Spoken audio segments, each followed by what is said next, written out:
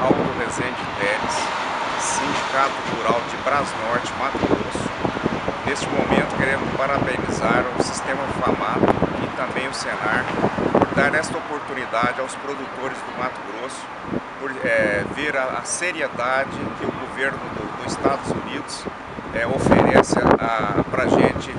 para eles na, na parte da agricultura e da pecuária uma seriedade muito grande, trazendo todos os dados e informações para que aquele produtor possa crescer dentro da sua área.